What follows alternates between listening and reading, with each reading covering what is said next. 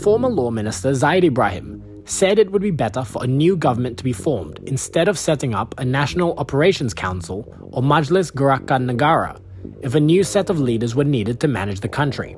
In a Facebook post today, he questioned the need for such a proposal when no other country in the world had resorted to such a measure. He said a smaller committee like MAGERAN did not ensure effectiveness and there was no guarantee it would be rid of political elements. Zaid said if the Yang di-Pertuan Agong came to the conclusion that Malaysia needed new leaders to manage the pandemic and economy, it would be better to get opposition leader Anwar Ibrahim to form a new government or appoint an interim prime minister.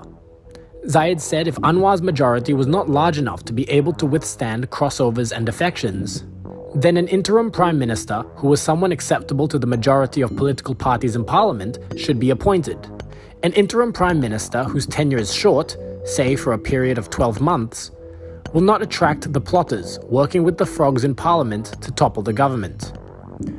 With an interim prime minister primarily tasked with managing the pandemic effectively and preparing the nation for the next general election, their tenure would largely go uninterrupted, he said.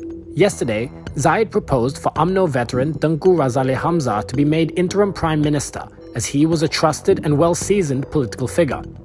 However, he noted that it was not certain that Muhyiddin Yassin would be replaced as Prime Minister, maintaining that this was up to the palace to decide.